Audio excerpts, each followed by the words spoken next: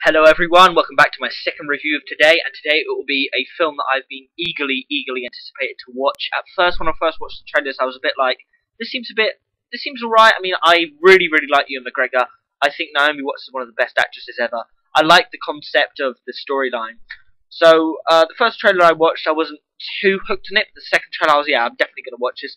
So I have, and that is The Impossible. So The Impossible stars Ewan McGregor and Naomi Watts, um, and a couple of unknown actors. Um, one of the, the, the oldest son in this film is played by Tom Holland, who I believe was somebody some uh, kind of uh, like guy who was in Billy Elliot or something uh, in the West End. Also, so basically, um, five families, uh, not five families, five people in the family. Ewan McGregor is the dad, Naomi Watts as the mum, and then three kids.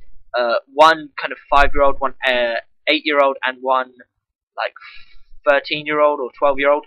Um, so like two small kids and then one older kid. Uh, basically, they go on holiday. Uh, the, Ewan McGregor he has a, like a good job in Japan. Uh, treats the family to like a vacation holiday thing uh, in somewhere in Asia. Um, and you know he goes on holiday. They're having a great time. One day they're playing in the pool, and a massive tsunami wave comes and wipes everything out. Naomi Watts and the son, uh, Tom Holland, are separated, uh, and Ewan McGregor and the other two kids are separated. So it's basically their their journey of trying to find each other through this massive tsunami. Now, let me first say that the first opening of this film with the plane, the tsunami, were absolutely terrific. I absolutely loved how um, the concept of it. I thought um, I watched some reviews of the film and I thought, oh, does does uh, does it not even show about like any of the of the family? Does it just go straight into a tsunami? Because at first it was just a black screen and there was this sound, and I thought, holy shit! I was I was really scared. But it was just a plane going.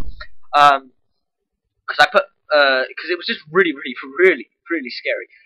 Uh, yeah, but I mean, it was really just a terrific film. The tsunami scene was quite uh, intense. I mean, it was really, really, really loud. Uh, a bit like the Super 8 one in the cinema where they have, you know, proper surround sound kind of uh, speakers and they just, you know, really, you know, kind of put it full speed. It just really bursts your eardrums. Um, so yeah, I think this was at first people thought this was going to be kind of underrated film, but I think this has done really, really, really well box office wise. I mean, I know some of my own friends have actually seen this. Loads of people on YouTube have seen it, and you know, obviously, loads of people at the cinema have seen it. Um, you know, I think it was a gripping story, incredibly powerful, very emotional film. I mean, this is not one for you know the faint-hearted. I mean, uh, or people who cry easy. If you if you like your kind of drama really drama slash sort of disaster, not like 2012 Roland Emmerich disaster, you will definitely, definitely enjoy this film. Ewan McGregor's performance was actually the best I've ever seen of him in career. The only one he's ever, ever, ever got close to is Trainspotting. I mean, the, the fact of the matter is they're absolutely two completely different. You know, Trainspotting, a heroin addict in Scotland, The Impossible, uh, a fully grown man who is, you know, trying to find his daughter and uh, his family in a tsunami. But I think this performance from him was absolutely superb. Naomi Watts was nominated for an Oscar, well deserved, absolutely brilliant. In some parts, she looked a bit like um, Regan from The Exorcist with some of her makeup. It was very, very, very well done. So I highly recommend The Impossible. I thought it was an absolutely fantastic film. Uh, I I think you will enjoy it. I'm not sure if it's got a limited release in the UK or if it's just a release in America. But yeah, guys, join me some for some more reviews uh, later. Alright, guys, thanks for watching. Bye.